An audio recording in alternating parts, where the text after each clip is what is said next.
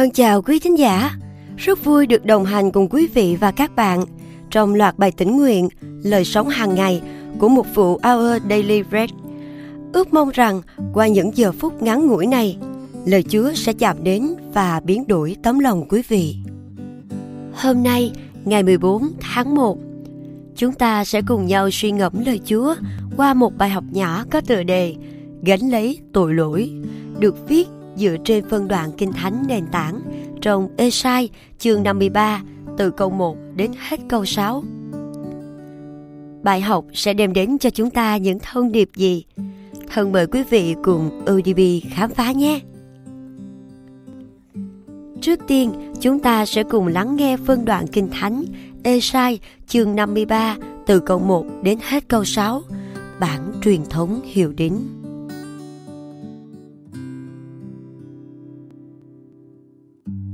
Ai tin điều đã được rao truyền cho chúng ta và cánh tay Đức Giê-hô-va đã được bày tỏ cho ai.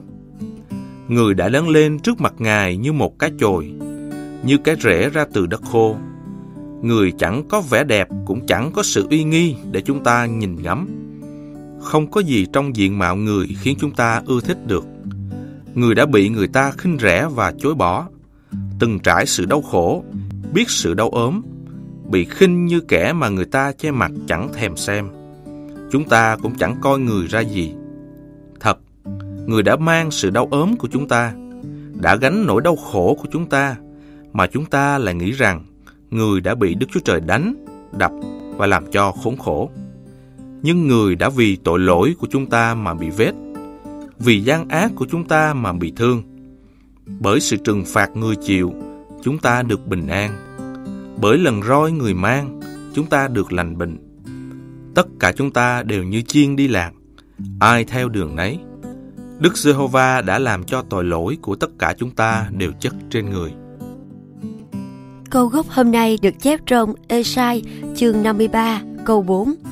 Thật, người đã mang sự đau ốm của chúng ta, đã gánh nỗi đau khổ của chúng ta trận động đất năm 2011 đã gây thảm họa hạt nhân Fukushima Daiichi, khiến các vật liệu phóng xạ phát tán trên một khu vực rộng lớn và buộc phải sơ tán hơn 150.000 cư dân.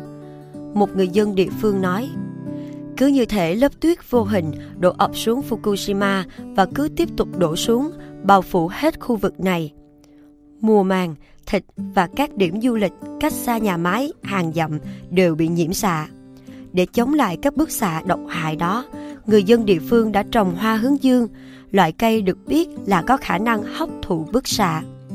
Họ đã gieo trồng hơn 200.000 hạt giống và hàng triệu bông hoa hướng dương hiện đang nở rộ tại Fukushima.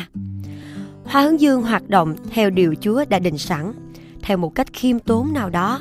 Nó cũng hoạt động tương tự như công tác vĩ đại của Chúa Giêsu để chữa lành cho toàn thế giới.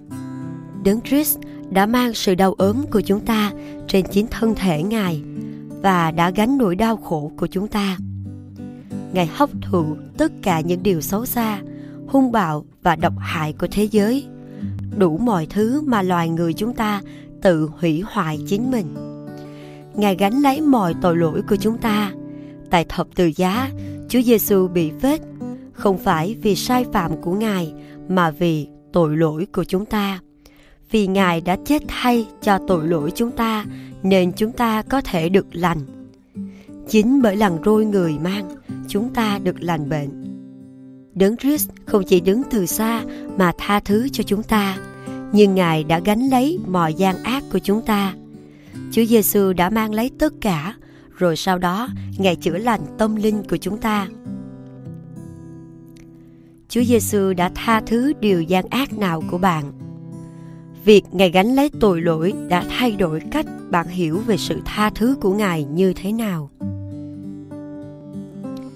Giờ này, chúng ta hãy cùng hướng lòng về Chúa và hiệp ý với nhau trong sự cầu nguyện. Lạy Chúa, chính Ngài đã bên vực, bảo vệ và đến bên con. Xin giúp con cũng làm như vậy cho người khác. Nhân danh Chúa Giêsu Christ. Amen. Quý thính giả thân mến, Ước mong rằng Chúa đã dùng bài tĩnh nguyện hôm nay để đem đến cho quý vị sự khích lệ và nâng đỡ trong bước đường theo Chúa.